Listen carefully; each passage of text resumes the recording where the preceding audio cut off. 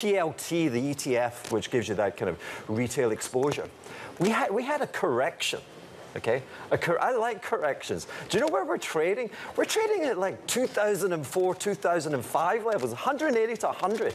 I love, I love that kind of correction. We've taken out all of the deflation. Now, let's be serious for a moment.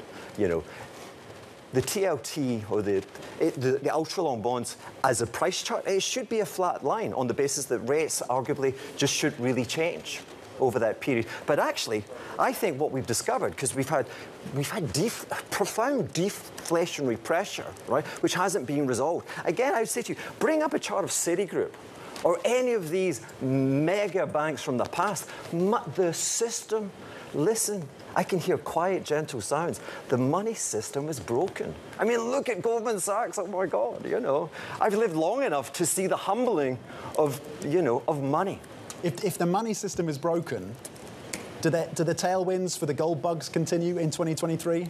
Well, you know, gold is gold is a remarkably silly asset. Gold is nihilism. It's like when you come and you wish to reject the insanity of the system, you say, you know what?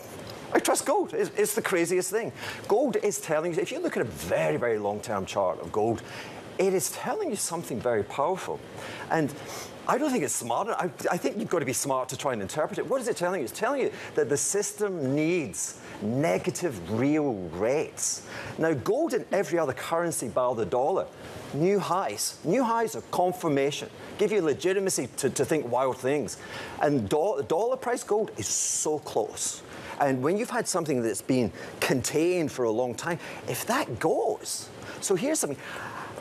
I don't get to make the rules, okay? But at the same time, I might have. Look, so let's let's do a. Just imagine if you did. Let, well, can you imagine? Like, can you imagine? Like, if it yes, wasn't the Fed. please make the rules, Hugh. Okay.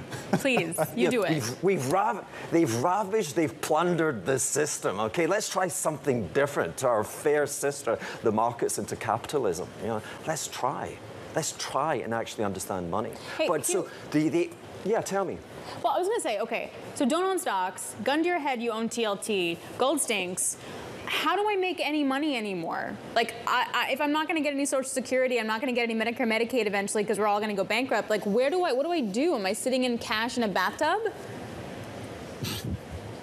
Yeah, I, I enjoy the buff, um, but the uh, it's this compulsion to do something. To, you know, you, the markets want it now. Yes. They want it now. They're impatient. You know, so, and the market's like, we're just trading where we were last last summer. This is just a noisy market. But to your point, actually, what I was saying, I, I think you misunderstood. And you're right to misunderstand, because this doesn't make any sense what I'm going to say. There's a surprise. I'm going to say to you, at the same time, I'd maybe have like two-thirds of a, like a, let's call it a model portfolio, I'd have 15, I would own gold. I'd have 15% in gold because if it cracks, if it cracks that ceiling, boom, I want to be there. And do you know what? I would actually probably have 25% in equities. Hmm. Why not, right? And do you know the weirdest thing?